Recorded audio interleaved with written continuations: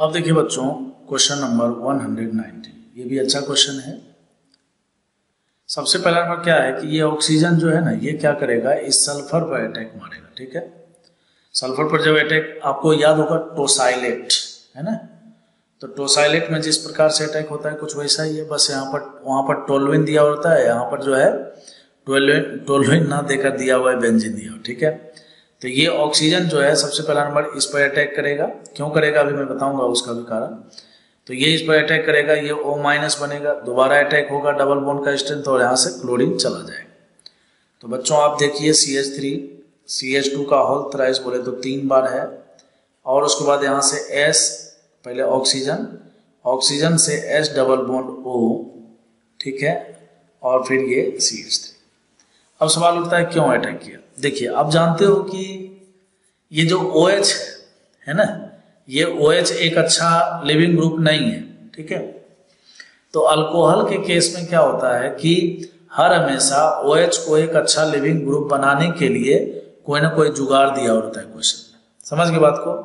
तो इसीलिए ये ऑक्सीजन ऑक्सीजन का जो न्यूक्लियोफाइल था इसने सल्फ़र पर अटैक किया और चूँकि क्लोरीन यहाँ पर एक अच्छा लिविंग ग्रुप है तो ये क्लोरीन यहाँ से लीव किया, ठीक है?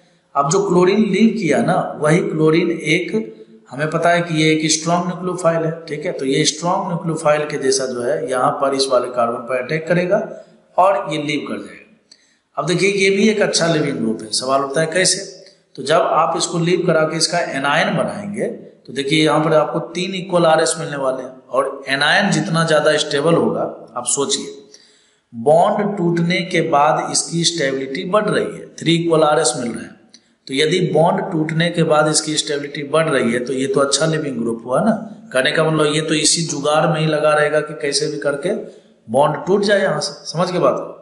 तो फाइनली जो है बच्चों, यहाँ से देखिए आप C H three C H two का होल ट्वाइस लिख लीजिए, उसके बाद एक बार सी एच टू लिख दीजिए, और फिर उसके बाद वहाँ पर सी एल लगा दीजिए। फिर देखिए यहाँ पर दिया हुआ है सी एन फोर्टीन दिया हुआ, ठीक है? सी एन माइनस है के सी एन है आयनिक बॉन्ड है फोर्टीन वाला है। फोर्टीन क्यों लिया है? यहाँ पर भी देखिए कार्बन है यहाँ भी कार्बन है। बेसिकली दोनों कार्बन को ये डिफ्रेंशिएट करना चाह रहा है अलग अलग करना चाह रहा है। ठीक है? तो ये सी एन माइनस भी देखिए, एक स्ट्रॉन्ग न्यूक्लियोफाइल है तो ये भी क्या करेगा? एस एन टू अटैक ही करेगा इस वाले पर। ठीक है?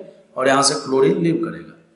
तो फाइनली अगर आप देखिए तो सी एच टू का हॉल ट्वाइस फिर उसके बाद सी एच टू और फिर उसके बाद देखिए यहाँ पर सी एन हो जाएगा, और ये फोर्टीन वाला है। ठीक है? लास्ट स्टेप में यहाँ पर हाइड्रोलाइसिस किया हुआ है। तो आप जानते हो कि एसिडिक मीडियम में जब सीएन का हाइड्रोलाइसिस होता है तो ये सी में बदल जाता है।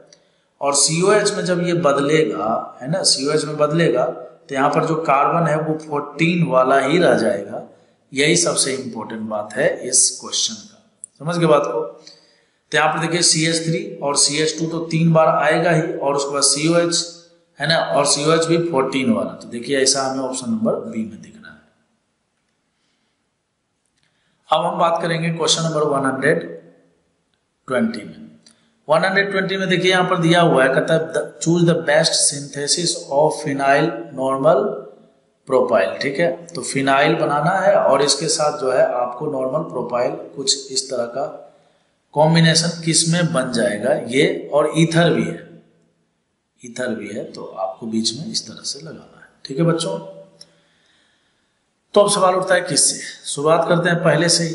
पहले वाले में देखिए, सोडियम मेटल है। सोडियम मेटल आप जानते हो कि अगर कोई हाइड्रोजन किसी मोर इलेक्ट्रोनिगेटिव एटम से जुड़ा हुआ होता है तो ये मेटल जो है, ये क्या करता है?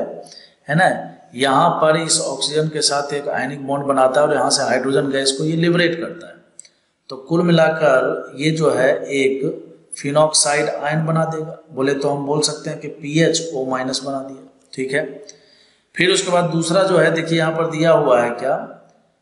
C H three C H two C H two और उसके बाद जो है यहाँ पर ब्रोमीन है।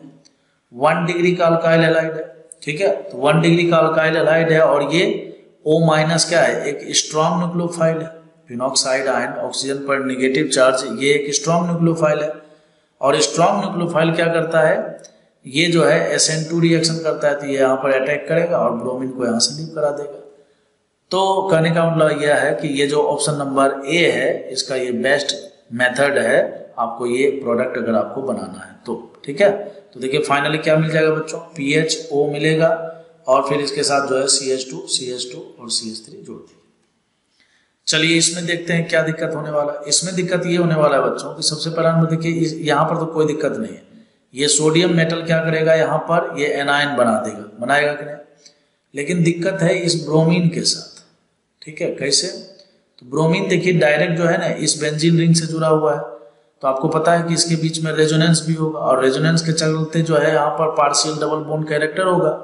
और पार्शियल डबल बोन कैरेक्टर होगा तो ये ब्रोमीन एक अच्छा लिविंग ग्रुप नहीं है, जबकि एस एन टू रिएक्शन होने के लिए लिविंग ग्रुप का अच्छा होना बहुत ज़रूरी है, ठीक है? तो कहने का लोग ये भी गड़बड़ मेथड है, ये भी अच्छा मेथड नहीं समझ में बात? अच्छा। फिर देखिए यहाँ पर ऑप्शन नंबर सी में। ऑप्शन नंबर सी में देखिए यहाँ पर सोडियम मेटल लिया हुआ है तो सोडियम मेटल का तो यहाँ पर यूज़ ही नहीं हो पाएगा, क्यों? क्योंकि ये तो ईथर है। ईथर तो रिएक्शन ही नहीं करता है, केवल एसिडिक मीडियम में ही रिएक्शन करता है। और डी में तो देखिए पहले से ही फालतू बात किया हुआ है। ये सोडियम मेटल यहाँ से क्या करेगा? हाइड्रोजन को निकाल के एनाइन बनाएगा और फिर उसके बाद ये एचबीआर से फिर यही ले लेगा तो यही प्रोडक्ट बन जाएगा। तो ये भी गड़बड़ बात है, ठीक है? तो इन चारों में से ऑप्शन नंबर ए ही इसका करेक्ट आंसर है।